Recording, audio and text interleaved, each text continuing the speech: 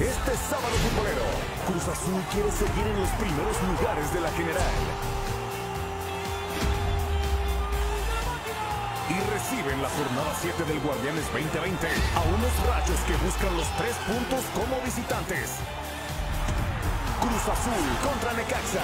955-855 Centro 655 Pacífico. La pasión de la Liga MX se vive por Univisión.